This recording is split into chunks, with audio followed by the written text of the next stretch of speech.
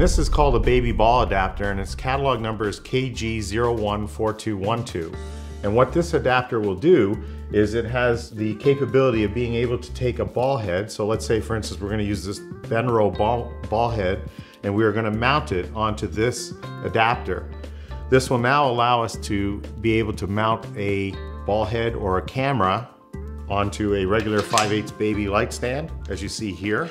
Or if we remove the locking knob, we can now take it and we can put it on the base of a junior mount and lock it in.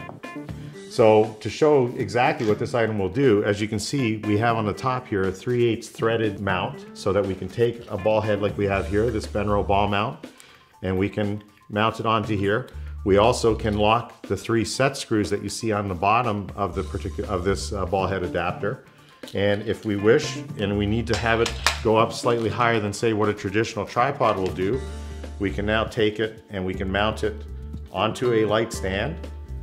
And now we have the capability of having a camera that can go up higher than a traditional tripod. And depending on what kind of photography or videography we are doing, we are able to mount it into different scenarios.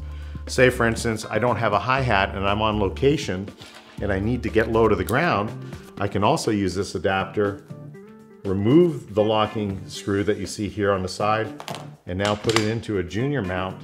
And as a result, I can lock it onto a junior mount and I can put it on my C-stand base, for instance, or any mount with a junior receiver. And now I have the capability of being able to put a camera, uh, a video camera, depending on what kind of camera I'm using and what kind of head I'm using, onto a, either a light stand traditionally or onto a, a stand with a junior mount.